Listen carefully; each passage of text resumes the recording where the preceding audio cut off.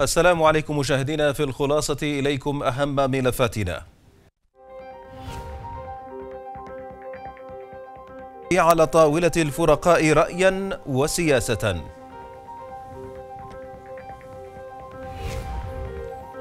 بعد ست سنوات ونيف نواب يفكرون ببرامج لإغلاق للمخيمات.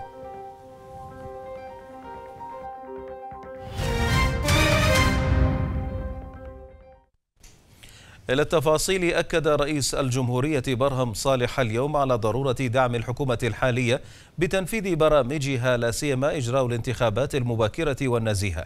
وقال المكتب الإعلامي لرئاسة الجمهورية في بيان إن رئيس الجمهورية برهم صالح استقبل اليوم في بغداد رئيس تيار الحكمة الوطني عمار الحكيم وبين إنه جرى خلال اللقاء بحث آخر المستجدات السياسية والأمنية في البلاد والتأكيد على ضرورة دعم الحكومة الحالية في تنفيذ برامجها سيما إجراء الانتخابات المبكرة والنزيهة وتلبية مطالب العراقيين بتحقيق الإصلاحات المنشودة.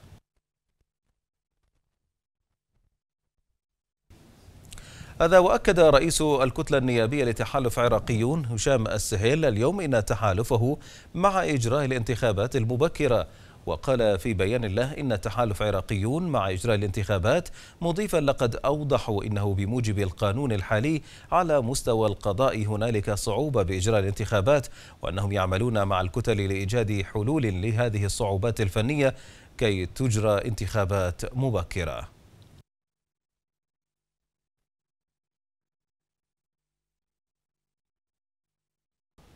هذا وأكد ائتلاف دولة القانون بزعامة نور المالكي اليوم السبت أنه لا يمكن إجراء الانتخابات المبكرة في البلاد فيما بين سبب ذلك.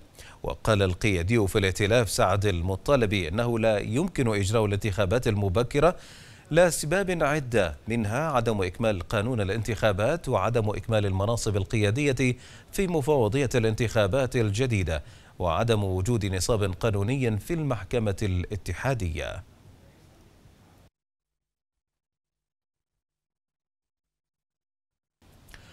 كشفت كتلة الفتح النيابية بزعامة الأمين العام لمنظمة بدر هادي العامري اليوم عن اتفاق سياسي لاستئناف جلسات مجلس النواب بعد عطلة عيد الأضحى.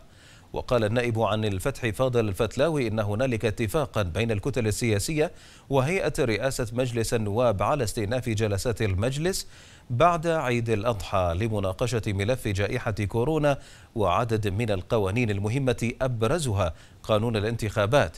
وأضاف أن البرلمان سيناقش أيضا في جلساته التي ستعقد بعد العيد عدة ملفات أبرزها الطاقة وتداعياتها وتجديد التراخيص لشركات الهاتف النقال وانتهاك القوات الأمريكية والتركية للسيادة العراقية.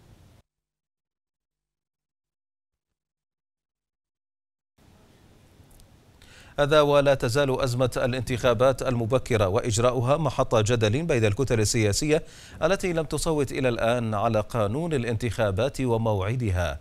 مزيد من التفاصيل في سياق التقرير التالي.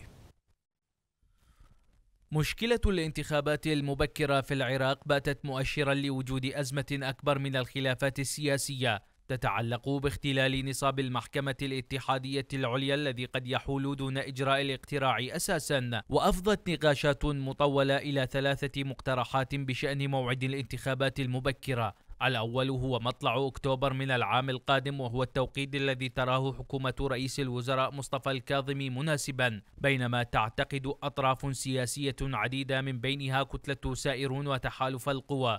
إن مطلع أبريل من العام القادم هو الموعد الأفضل لإجراء الانتخابات المبكرة. الأمر الذي دفع النائب فائق الشيخ علي إلى التساؤل عن طبيعة المواعيد المقترحة لموعد إجراء الانتخابات القادمة والتي تمت مناقشتها مع رؤساء الكتل واللجنة القانونية في البرلمان. إلى ذلك أكدت عضو اللجنة القانونية النيابية ألماس فاضل وجود تقارب بين الكتل السياسية بصدد مواضيع منها الجدول الزمني وتهيئة الأمور اللوجستية لإجراء الانتخابات. ولتقريب وجهات النظر اقترحت المبعوثة الأممية الخاصة في العراق جينين بلاسخارت أن تجرى الانتخابات في الأول من يونيو عام 2021 وبالرغم من التفاؤل الذي تبديه الأمم المتحدة إزاء موعدها المقترح للانتخابات المبكرة إذ عادة ما تكون درجات الحرارة في أشدها خلال هذا التوقيت من العام.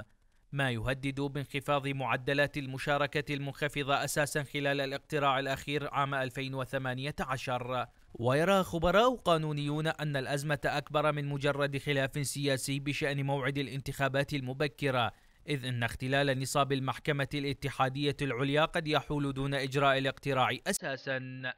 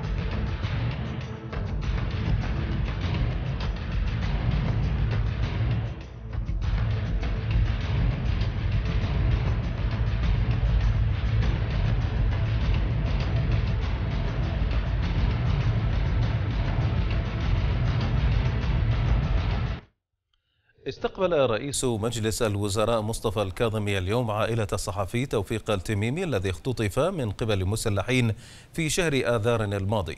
وأكد الكاظمي أن الحكومة تبذل قصارى جهدها لمتابعة قضية اختطاف الصحفي توفيق وإنهاء معاناته وهي جادة أيضا بمتابعة ملف جميع المختطفين وحسم هذا الملف.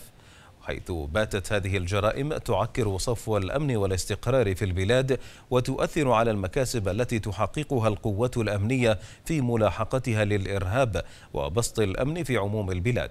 وبين إن الحكومة لن تدخر جهدا في ملاحقة المجرمين والقتلة وتقديمهم إلى العدالة.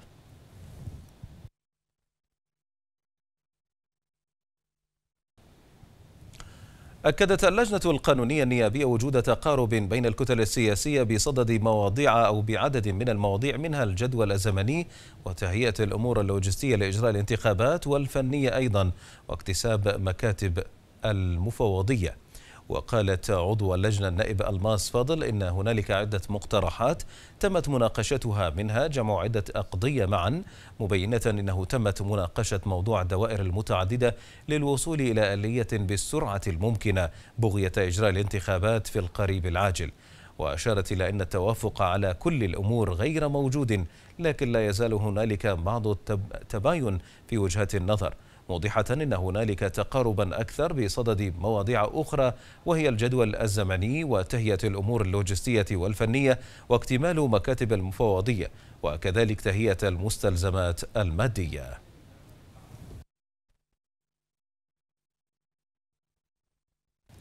رأى مختصون أن الحوار العراقي الأمريكي يجب أن يأخذ منحى المصالح المشتركة لا مصالح الآخر دون الوقوع تحت سيطرة طرف دون آخر. الحوار الاستراتيجي بين العراق والولايات المتحدة الأمريكية بدأ الجولة الأولى وإحنا بانتظار الجولة الثانية والثالثة. حقيقة هذا الحوار يستند إلى الاتفاقية العراقية الأمريكية اتفاقية الإطار الاستراتيجي التي أبرمت عام 2007 وتم تنفيذها عام 2008 وفعلت على واقع الأرض عام 2011 عندما آه، طلب في وقتها السيد نور المالكي بانسحاب القوات الأمريكية من العراق. فعلا آه، كان هناك تطبيق. فعلت مرة ثانية عام 2014 عندما طلب السيد العبادي آه، التدخل الدولي لاسيم الولايات المتحدة الأمريكية لمقاتله داعش حقيقه لم يستفاد العراق من هذه الاتفاقية وهي فيها كثير. فيها جانب اقتصادي وفيها جانب سياسي وفيها جانب أمني وفيها جانب معلوماتي وتكنولوجي. ولكن العراق فقط استخدم آه، فقط الجانب الاستراتيجي العسكري آه، لوجود ضغوط حقيقة آه، إقليمية عربية وغير عربية للحد من هذه الاتفاقية. أمريكا هي الدولة الأولى في العالم وهي المسيطرة تقريبا على شؤون كل الدول العالمية شئنا أم أبينا. واليوم نحن يعني اتجاه الحوار الأمريكي العراقي ويكون هذا الشيء يعني إذا كان يأخذ منحى أنه كل بلد أو كل محاور آه، يريد ما يفيد بلده وليس لمصالح آه، وأجندات آه، أخرى أو أنه يأخذنا لمجال الوقوع بأحضان أمريكا هذا الشيء أكيد يكون من صالح العراق. ولكن الجميع يعلم أن الأمريكان مصالحهم آه، فوق آه، كل شيء. المفاوضات العراقية الأمريكية مهمة جدا وذكرت في عدة لقاءات أنه يجب على الدبلوماسي العراقي أن يتحلى بالوطنية وتكون المصلحة الوطنية نصب عينيهم وأن تكون المصلحة الوطنية هي الأساس أساس التفاوض تفويض المصلحة الوطنية العراقية على حساب المصالح الأخرى. لأن المفاوض الأمريكي يأتي وهو يفضل مصلحته. فلذلك يجب علينا أن تكون المصلحة الوطنية هي الأساس في أساس هذا التفاوض لكن هي مهمة جدا. تحديد أطر العلاقة بين العراق والولايات المتحدة مهم جدا لأن هذا يتعلق عليه مصير أجيال آه، لسنوات قادمة. ويجب على الولايات المتحدة أيضا أن تسعى للحفاظ على علاقات جيدة مع العراق لأن هي من آه، يناشد ويقول بأنه جاء بالديمقراطية إلى العراق فلذلك هي ليس من مصلحتها أنه العراق يعاني من هذه المشاكل فلذلك هي مصالح متبادلة بين دعا النائب عن تحالف القوى العراقية محمد الكربولي اليوم الحكومة إلى الالتزام بوعودها وتنفيذ قانون التعويضات ليتمكن النازحون من بناء دورهم. مشيرا إلى أن النازحين يطالبون بالتعويضات لبناء سقف يستظلون به وليس الذهاب للمصائف. وقال الكربولي في تغريدة له على منصة تويتر تعاملت كل الحكومات مع النازحين بمنهج ظلم واحد. وضم واحد أيضا فزادت من واقع كارثة داعش وحولت بيوتهم إلى ركام وأنقاض عبر القصف العشوائي. وبين إنه من واجب الحكومة الالتزام بوعودها وتنفيذ قانون التعويضات ليتمكن النازحون من بناء دورهم. وأكد الكربولي أن النازحين يطالبون بالتعويضات لبناء سقف يستظلون به وليس الذهاب للمصائف.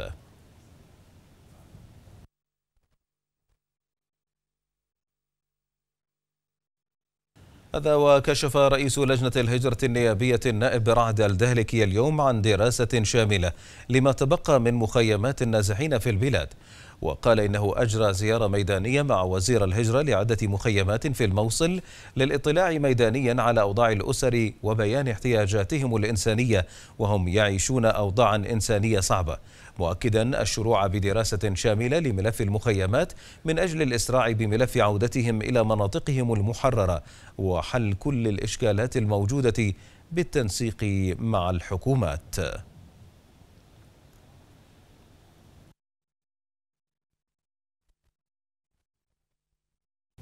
وفي الشأن ذاته كشف مستشار محافظ الأنبار للشؤون الإغاثية مازن أبو ريشة عن قيم منظمة الهجرة الدولية بدفع مبالغ مالية كبدل إيجار لأسر تم أو تروم العودة من مخيمات النزوح إلى مناطق سكناها المحررة. وقال أبو ريشة في تصريح صحفي أن الحكومة المحلية وبالتنسيق مع منظمة الهجرة الدولية IOM تكفلت بنقل 50 أسرة نازحة من مخيمات النزوح في قضاء عملية الصمود جنوبي مدينة الفلوجة إلى مناطق سكناهم المحررة من خلال دفع بدل الإيجار لتلك الأسر فضلا عن ترميم منازلهم المتضررة جراء العملية الإرهابية. وأضاف إن المنظمة وزع 320 دولارا كبدل إيجار لكل أسرة عادت إلى مناطق سكنها المحررة ولمدة ثلاثة أشهر.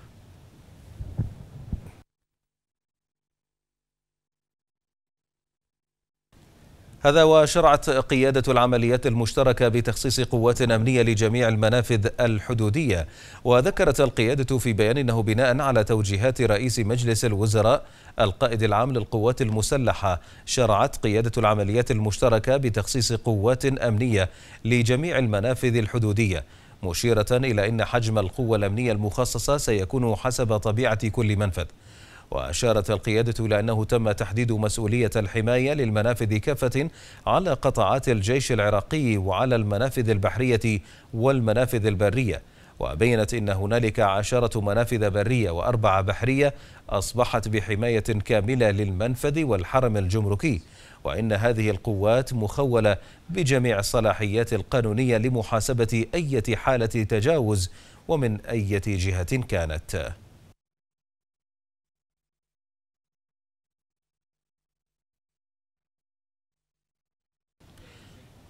هذا وتعتبر المنافذ الحدودية سواء البرية أو البحرية من المصادر الرئيسية في رفض موازنات الدول إلا أن في العراق الموضوع مختلف فإيرادات المنافذ تذهب أغلبها إلى الأحزاب وجهات متنفذة باعتراف نواب ومسؤولين. إلى التفاصيل. يعتبر حجم الاستيرادات العراقية عبر منافذه الحدودية البالغة 14 منفذا واسعا جدا ويشمل 130 دولة.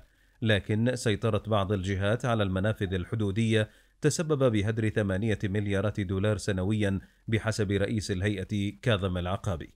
فيما كشفت جهات متعددة عن حجم الفساد والهدر بالمال العام منهم مقرر اللجنة المالية البرلمانية أحمد الصفار. إذ يقول إن من 10 إلى 20% فقط من إيرادات المنافذ الحدودية تعود إلى خزينة الدولة فيما تذهب بقية الإيرادات إلى جيوب الأحزاب وبعض الشخصيات السياسية المتنفذة. العراق يمتلك 14 منفذا حدوديا بريا وبحريا مع دول الجوار من ضمنها خمسة منافذ في إقليم كردستان. كل تلك الأسباب دفعت الحكومة إلى إعادة النظر بهذه الملفات والجهات المسيطرة عليها وضرورة إخضاعها لسلطة الدولة. عبر جملة من القرارات المهمة أولها بإحكام سيطرة قوات جهاز مكافحة الإرهاب عليها وتغيير عدد من مدرائها تعزيزا لعمل هيئة المنافذ بإحكام سيطرتها الصارمة من خلال صلاحياتها القانونية في الإشراف والرقابة والتدقيق والتحري الأمني على كافة الدوائر العاملة في المنافذ بما يحقق توجهات الحكومة ودعم الموازنة الاتحادية من خلال تعظيم الإيرادات.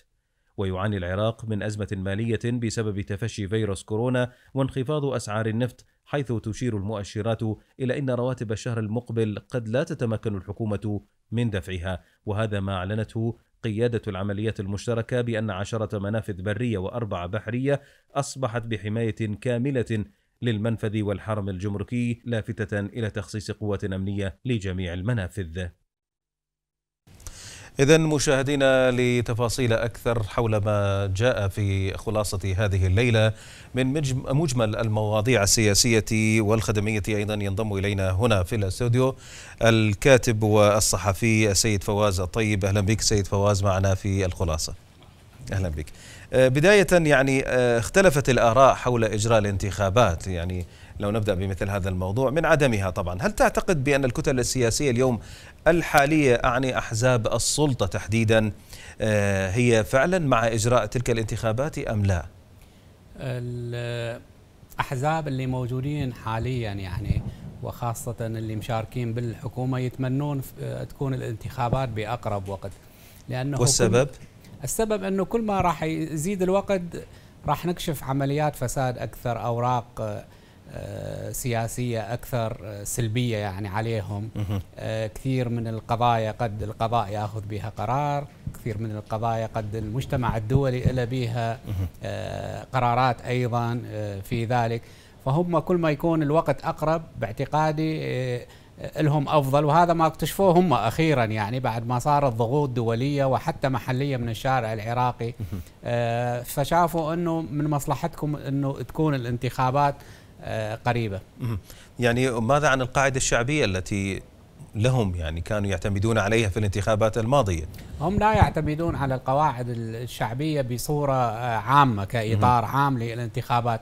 هم يعتمدون على نفوذهم في مؤسسات الدولة. آه، وهذه أيضا يعني هم كل ما راح تكون الفترة قريبة المؤسسات ما زالت تحت أيديهم. يعني ما خارجة عن عن طور تعليماتهم وما إلى ذلك. السيد مصطفى كاظمي لم يستطع أن يحرر الوزارات من نفوذ الأحزاب والكتل أو ما يسمونها يعني الدولة العميقة. طيب سيد فواز يعني آه، ما رأيك بأهم مقومات إجراء الانتخابات؟ يعني اليوم إحنا آه، لحد الآن لا يوجد تعداد سكاني لسكان العراق. أيضا هنالك مناطق إلى الآن هي آه، لم تحل مشاكلها سواء كانت من ضمن هذه المواد يعني عودة أهلها إلى سكناها. نتحدث عن المناطق المحررة. وأيضا مناطق خاضعة لقانون أو المادة 140 من الدستور العراقي. وأيضا هنالك موضوع آخر لدينا إشكالية مع الجماهير. الجماهير التي ربما فشلت بالخوض في الانتخابات حتى في السابقة يعني أو خابت آمالها بعد هذه عملية الانتخابات. كل هذه هل تعتقد أنه فعلا اليوم هنالك مقومات حقيقية على الأرض آه، ممكن إجراء هذه الانتخابات وفق هذه المعطيات؟ آه، يعني إلى هذه اللحظة المساحة الحرة لانتخابات حرة غير موجودة. وأعتقد راح يكون تكون المقاطعة أكبر من انتخابات 2018 بهذا الوضع الذي آه، نحن عليه. هناك ارتباك كبير في يعني الجانب الأمني هناك خطف هناك اعتقالات هناك ضغوط كبيرة على آه، المواطنين. آه، القوانين يعني لحد الآن غير واضحة من البرلمان العراقي قانون الانتخابات لحد الآن ما مصادقين عليه ولا نعرفه. إيش راح يطلع؟ يعني هل هي مناطق جغرافية؟ هل هي على أي قانون أي نظام؟ آه، سانت ليغو أو غيره. هذا أيضا غير واضح بالنسبة لل للأحزاب وحتى لل يعني للحكومة للشعب. وللأحزاب المتنفذة والسلطة هي غير واضحة. إلى حد فكيف الآن للمواطن يعني كيف الذي يسكنها؟ بالضبط.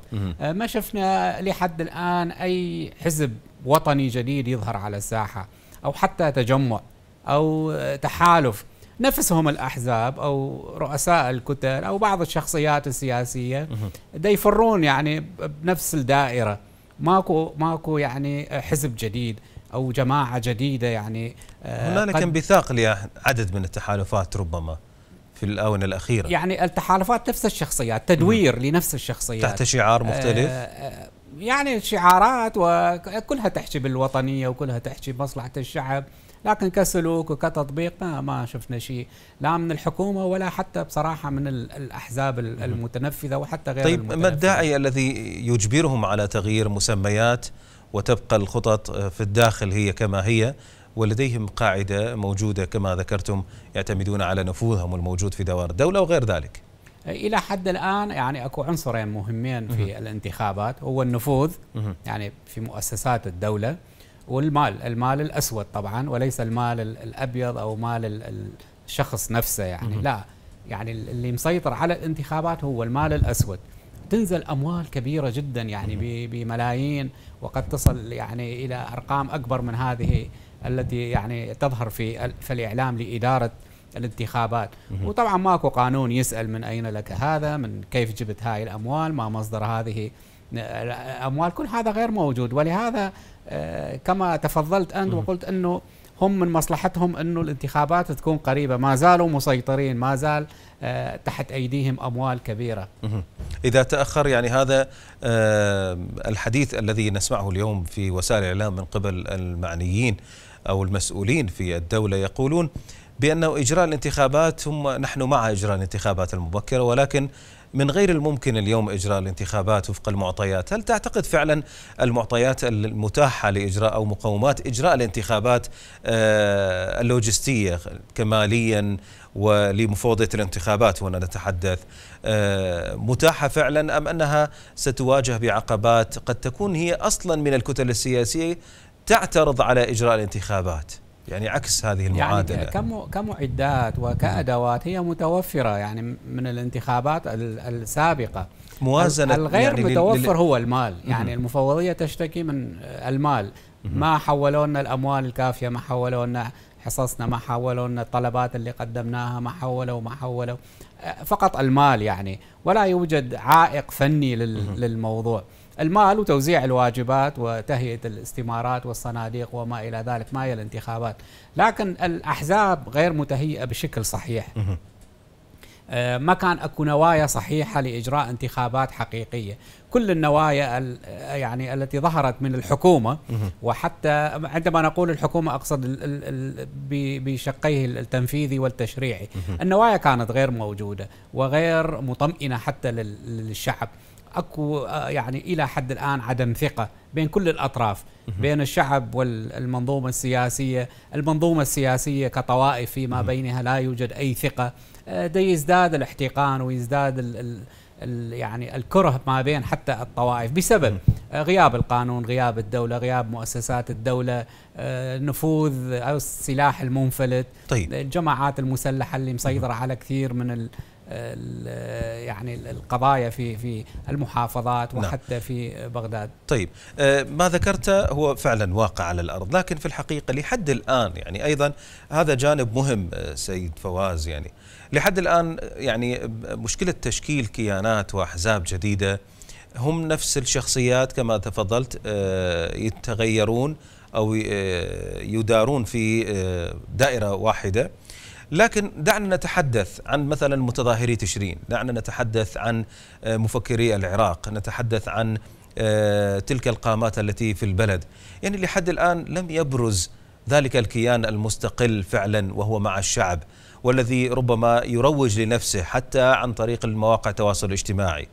لم يخرج ولم يبرز مثل هذا الكيان. آه، كي يكون هو يعني بالصف مع تلك الأحزاب. وهو الند لهم. فكيف يمكن اليوم يعني نتحدث عن ثقة ونحن ليس لدينا من يمثلنا؟ وهذا ما طرح حتى بتشكيل الحكومة آه، تشكيل حكومة الكاظمي. يعني كان هناك حديث من هي الجهة التي نتحدث معها ونتفاوض معها من المتظاهرين؟ فمن هذا القبيل سيد فوز كيف تقرأ مثل هذا المشهد؟ يعني السؤال صار بشقين يعني نعم. الشق الأول يخص المنظومة السياسية. بالتأكيد. هل فيها جهات أو شخصيات تصلح لإدارة الدولة. طيب. نعم يوجد حتى. نكون منصفين يعني. بالتأكيد. يوجد في المنظومة السياسية بعض الشخصيات الجيدة اللي تقدر تنقذ العراق وتذهب به إلى الدولة المدنية دولة المواطنة مثل ما يريد الشعب. لكن النفوذ آه، مو بيدهم. النفوذ بيد جماعات أخرى بصراحة هي مسيطرة على مفاصل الدولة.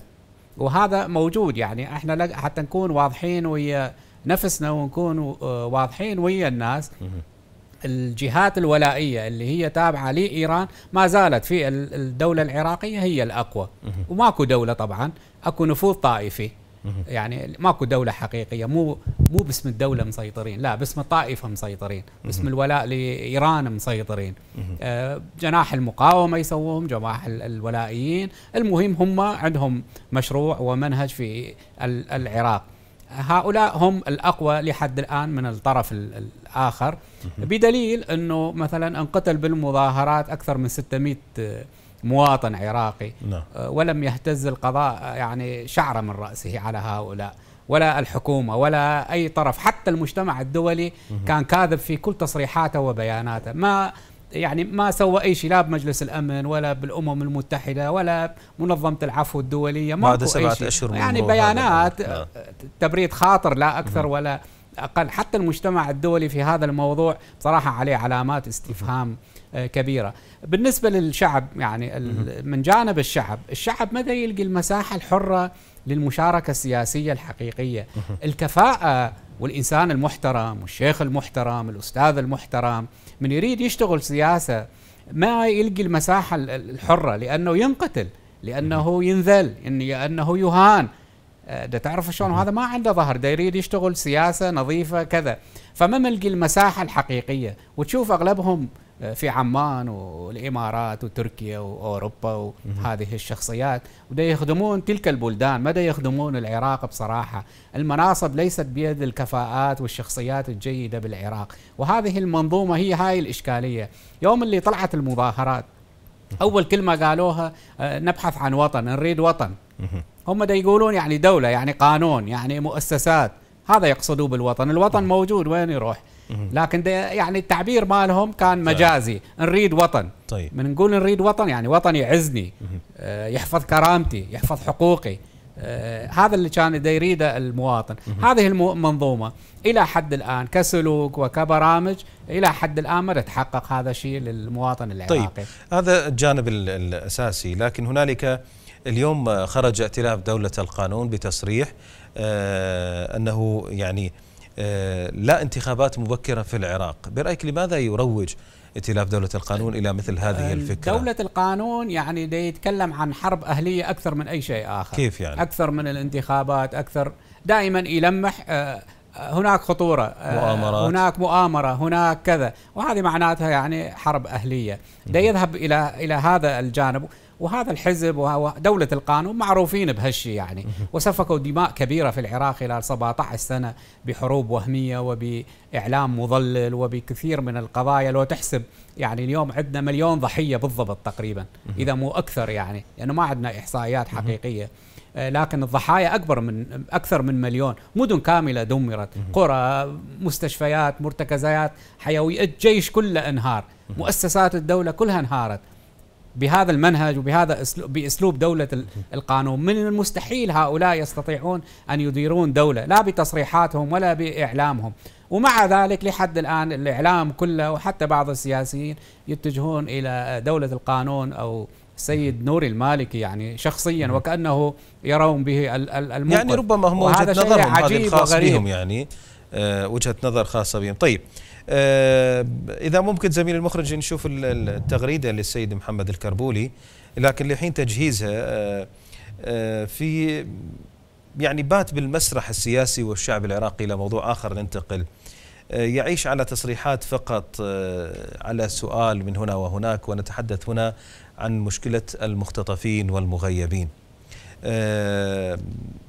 كيف ترى مثلا أو عفوا على مشكلة النازحين كيف ترى اليوم ملف النازحين؟ هنالك لحد الآن لا يزال هذا الملف هو قيد الحديث والمناقشة والدراسة أيضا. كيف تقرأ؟ طبعا هذه المشكلة من 2007 موجودة. يعني قضية النازحين والمهجرين للعلم موجودة من سنة 2007 وليس ال ال ال اليوم.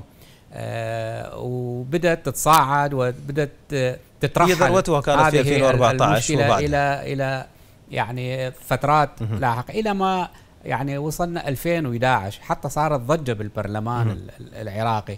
إنه الأطراف السنية تحديدا ما قبلت ما قبلت الصادق على الاتفاقية الأمريكية العراقية بخروج القوات الأمريكية والمعاهدة الأمنية اللي في وقتها وقعوا عليها. قالوا من صادق على هذا ال ال ال ال التح يعني العفو القرار؟ نعم. إلا إلا إذا حلت مشكلة النازحين والناس المهجرين والمعتقلين والمغيبين من ذاك الوقت. يعني السالفة كلش قديمة. طيب. ودائما آه، يعني حتى الجماعات السنية دائما دا يرحلون المشكلة ومن تصل مرحلة انتخابات يجيبوهم يلا وقع يلا ارفع إيدك يلا كذا هاي انحلها إن شاء الله.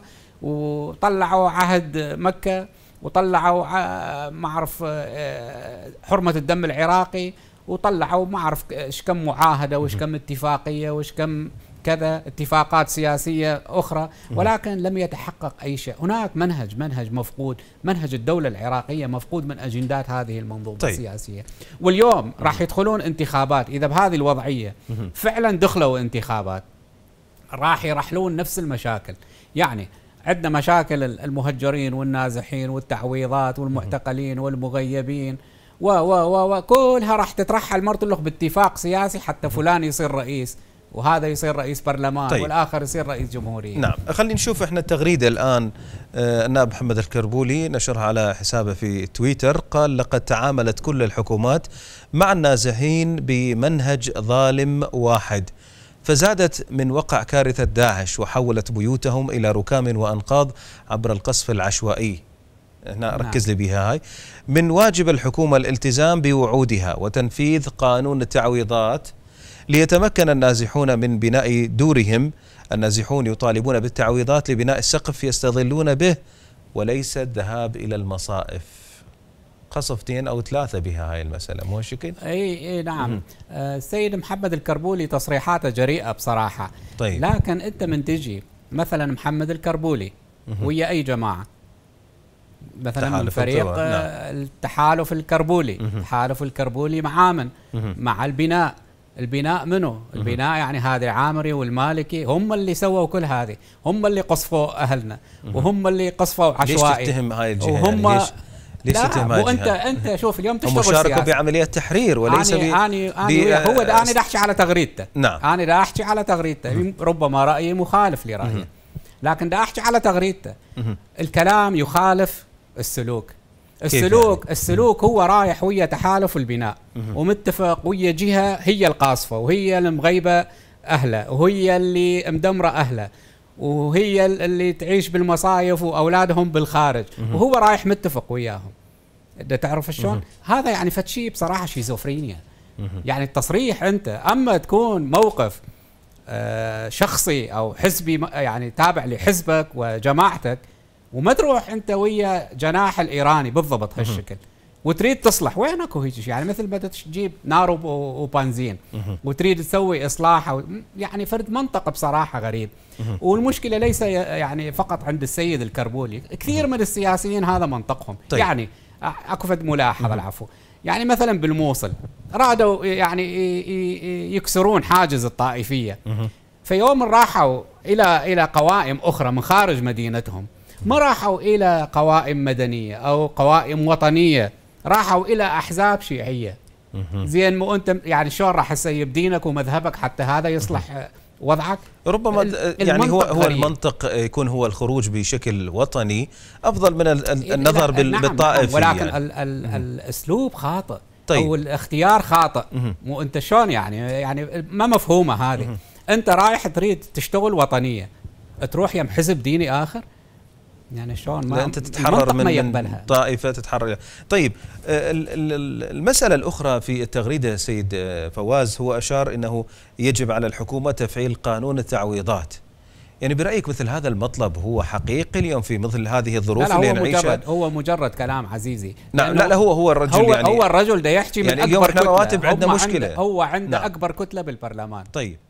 زين ومتحالف ويا أكبر كتلة اللي هم كتلة البناء. ربما يقولون إحنا الكتلة نعم. الأكبر منو الحكومة بس أريد أعرف هو ده يحكي ويا من؟ منو هي الحكومة؟ أنت الحكومة. هسه السيد الحلبوسي يجمع النواب ويصدر قرار. أنت الحكومة. منو الحكومة؟ يجمع النواب ويضغط على رئيس الوزراء. يجبر رئيس الوزراء. شنو هالمنطق هذا؟ أهلنا وكذا ومصايف ومضايف يعني هذا الكلام عليه مد... هذا كلام است... إنشاء استهلاكي يعني ضحك على الذقون بصف يعني هسه كلهم آه، بهذا الكلام. ويروحون مرتلخ أكو صفقات تصير اليوم. بالوزارات وبالدوائر وحتى فراش المدرسة. ومن نفس الجهة اللي يتحدث بها السيد محمد الكربولي. وتحديدا أحكي لك من الموصل حتى أكون وياك واضح. نعم. حتى فراش المدرسة يساومون عليه في الموصل يعني يشترون موجودة؟ المدراء الدوائر. يشترون الموظفين يشترون المحافظة. زين بكل شيء يتدخلون. يعني الكلام وين؟ والسلوك والتطبيق وين؟ يعني هذا اللي أهلكنا. يعني كفى هذا ال يعني ال الاستهزاء وال وال يعني من هو الشعب. هو الرجل آه، يعني النائب محمد كربولي هو عضو لجنة الأمن والدفاع. هذا أيضا أنت ما يمكن شارده عنده هناك الآن. يعني هو يتحدث عن آه، ملفات كثيرة خاصة المغيبين تحدث عنهم في مسألة المختطفة المختطفة سيد. نعم سيد فواز هو رجل أشار في مسألة أنا ما أنتقص من شخص لا لا السيد هو محمد الكربولي. أيضا تحدث عن يعني إذا هو باللجنة الأمنية قلت لك. وإذا هو من أكبر كتلة وهو المتنفذ وهو هم أصحاب القرار بالبرلمان وهم اللي نصبوا رئيس البرلمان واختاروا أكبر عدد من الوزراء. هم هم. منو؟ يعني ويا من دا يحكي؟ ويام دا يحكي ويا الشعب؟ لو دا يحكي ويا نفسه. أنا مو يعني مو عفوا على شخص السيد الحلبوسي أو حتى السيد احتراماتي لهم آه ناس سياسيين ودا يشتغلون. لكن أنا دا أتكلم عن المنطق. طيب طيب. آه يعني خليني أتكلم يعني على هذه النقطة أيضا أساسية. آه وكأنك يعني من خلال تصريحك أو يعني قراءتك وتحليلك للمواضيع أحس إنه اليوم السياسيين خاصة السنة ربما هم يعيشون ضمن إطار الشعارات يعني تصريحات مجرد آه، توجيه إلى الشعب وهي بما يتحدث به لسان الشعب ولكن التنفيذ يكون فعلا هم ملتزمون يجب أن يكون ملزمون به عفوا ولكن التطبيق هو ليس كذلك. يعني كل الأطراف آه، للإنصاف ليس فقط الطرف السني. نعم. كلهم بالإعلام شيء وبالكواليس شيء آخر. هذا يعني واضح من يعني سنوات يعني ما معقولة إحنا نلدغ من نفس الجحر أكثر من مرة. يعني آه تابعناهم وشفناهم وجربناهم أكثر من مرة. الكلام في الإعلام شيء ووراء الكواليس هم شيء آخر. هذه حقيقة ولهذا آخر انتخابات اللي طلع من الشعب ما يتجاوز ال 15% يعني أنت أكو 85% زين ما عنده ثقة ولا يعترف بعد بالمنظومة السياسية. وهذا ال 85% اللي ما شارك بالانتخابات أعادت نفس الوجوه مرة أخرى. أني أني وياك لأنه ما عنده حل آخر. شوف. الشعب ما كان عنده حل آخر. شعب شعب مظلوم شعب منهك شعب يعني سلطوا عليه الطائرة والمدفع ومختلف الأسلحة.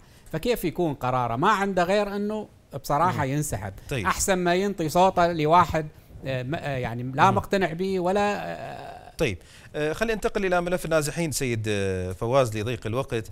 يعني ما زال الكلام في محور النازحين هذا الموضوع. اليوم كانت هنالك جولة ربما لوزيرة الهجرة بيان فائق معها كان النائب رعد الدهلكي اللي هو عضو اللجنة طبعا. بعد ست سنوات ست سنوات مرت من النزوح. يتحدث النائب اللي هو عضو في هذه اللجنة عن آه، دراسة وبحث دراسات لإغلاق المخيمات هذه. كيف تصف مثل هذا التصريح؟ يعني أه. نحن ندرس مثل هذه الخطوة. يعني قلت لك المنهج الحكومي إلى حد الآن غير منهج دولة. وأنا أستغرب صراحة يعني أستغرب أكو من أكو. من بعض النواب اللي هم في الشأن حينما تتصل به للحديث عن هذه الأمور آه، دائما يتعذر. وهذه نعم. الأعذار هي واضحة يعني. شوف هي نعم. هي يعني الأمور ما تمشي بمنهج دولة؟ ده تمشي بمنهج آه، أحزاب معينة أو جماعات آه، مسلحة معينة. أكو أموال تنصرف مثلا للمهجرين. المال من مجموع 100 ما يصل كنسبة وتناسب من 15 إلى 20% ينصرف على المهجرين. ومن ينصرف على المهجرين حتى هاي ال 20% هم يطير منها لأنه ما تتوزع بشكل صحيح. ضرائب يعني. أي بالضبط. يعني أنت من بغداد ما يوصل المبلغ 100 ده يوصل 80 بالطريق يوصل 60 يفوت للمحافظة 40 يطلع من المحافظة 20 تبخر بالحر يا أستاذ آه فواز يعني وهذا باعتراف يعني. طبعا. هذا طيب. كلام السيد ال ال الوزيرة اليوم هي قالت. قالت الأموال التي صرفت للمهجرين لم تصل إلى المهجرين ولا إلى النازحين ولم تصرف بشكل صحيح. بعثرت الأموال. والأموال ليست مليار ومليارين. يعني مبالغ محولة. كبيرة. مبالغ كبيرة جدا. هذا من غير مبالغ ال UNDP والمساعدات الدولية والمنظمات الدولية. كل هذه الأموال زين اختفت. مو بعثرت اختفت. كيف اختفت؟ اختفت في كواليس الجماعات اللي يصرحون بالوطنية والمثالية ويبكون على أهلهم. وإحنا أهم شيء نخدم أهلنا وناسنا. وراح نحلكم من وراح نحل مشاكلكم إن شاء الله. بس أنتم يعني على الانتخابات الجاية هم دفعة. لا حول ولا قوة إلا بالله. يعني للأسف لا يزال العراقي هو يدفع الثمن بكل شيء سواء من المناطق آه، المحررة إلى الجنوب أيضا. شكرا جزيلا لك الكاتب والصحفي فواز الطيب شكرا جزيلا لك. مشاهدينا في الموقف الوبائي لهذا اليوم من إصابات فيروس كورونا حيث أعلنت وزارة الصحة والبيئة العراقية اليوم تسجيل 2862 إصابة بفيروس كورونا و72 حالة وفاة في عموم البلاد. وقالت وزارة الصحة في بيان إنه تم فحص 15788 نموذجا في كافة المختبرات المختصة لهذا اليوم وضيفة أنها سجلت 2049 حالة شفاء موزعة في عدد من المحافظات العراقية.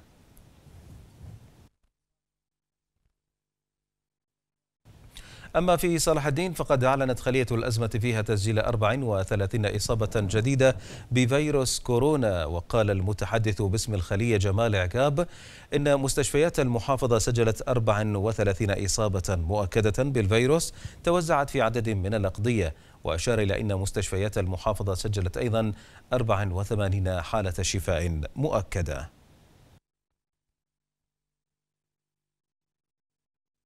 هذا ووجه وزير الصحة والبيئة حسن محمد التميمي بإنشاء مستشفى سريع للإنجاز مع مختبر متخصص في قضاء الدجيل بالمحافظة. وذكر المكتب الإعلامي لوزير الصحة والبيئة في بيان أن المستشفى يضم 50 سريرا وأن يكون الإنجاز سريعا وواطئ الكلفة. وأشار البيان إلى توجيه الوزير أيضا بتخصيص مختبر لفحص فيروس كورونا المستجد في قضاء الدجيل بمحافظة صلاح الدين. ويبدأ العمل في المستشفى مطلع الأسبوع المقبل.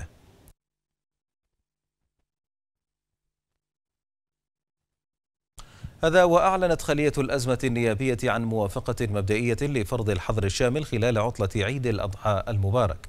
وقال عضو الخلية النائب عباس عليوي في تصريح صحفي إن اللجنة العليا للصحة والسلامة الحكومية وافقت مبدئيا على فرض الحظر الشامل للتجوال خلال أيام عيد الأضحى. ولفت إلى أن اللجنة ستجتمع خلال اليومين المقبلين لإعلان الحظر بشكل رسمي وأنه أضاف إن قرار الحظر يأتي ضمن تقليل التجمعات في المناطق الشعبية والأسواق وغيرها من الأماكن التي قد تؤدي إلى تجمعات كبيرة تتسبب بارتفاع الإصابات.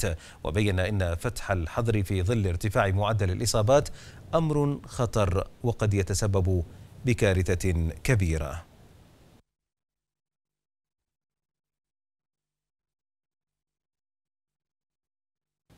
قال مدير الصحة العامة في وزارة الصحة عبد الأمير الحلفي أن العراق لم يصل إلى مرحلة انحسار فيروس كورونا وذكر في بيان له إن الجدول المنحني لوباء فيروس كورونا لا يوجد فيه انحسار للفيروس وبين إن الانحسار يعني بدء منحني الإصابات بالتنازل ويصل إلى مستويات واطئة وأضاف إذ أراد الحديث عن مرحلة انحسار الفيروس فهي تبدأ من 200 إلى 100 إصابة ويختزل ويبدأ بالتناقص فيما أوضح أنه ما زال يسجل حالات إصابة عالية والعراق لا يزال في مرحلة الذروة.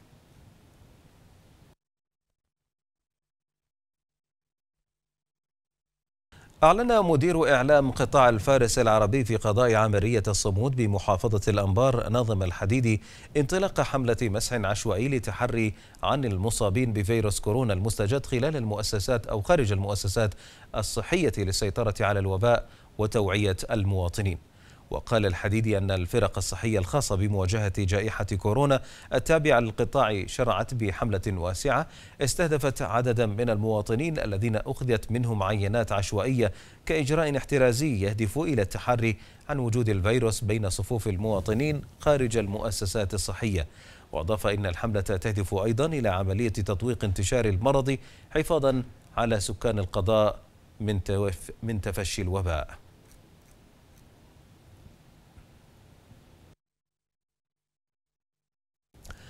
أكدت وزارة العدل أنها لم تسجل إصابات جديدة منذ عدة أيام والوضع في السجون بتحسن تام فيما رصدت مفوضية حقوق الإنسان عدم وجود آلية خاصة في التعامل مع مصابي فيروس كورونا من النزلاء في السجون من قبل الجهات المختصة.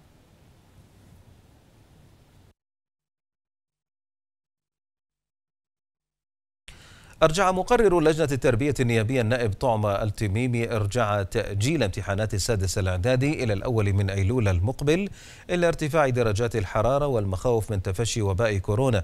في حين رجحت اعتماد التعليم الإلكتروني في العام الدراسي المقبل في حال استمرار الفيروس.